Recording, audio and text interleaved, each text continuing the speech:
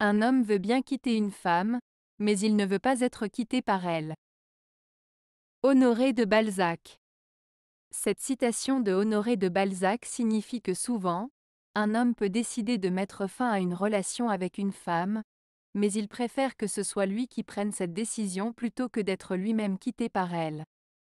Cela met en lumière l'orgueil et l'ego masculin, montrant que certains hommes préfèrent garder le contrôle de la situation et de leur image plutôt que d'accepter d'être rejetés ou abandonnés.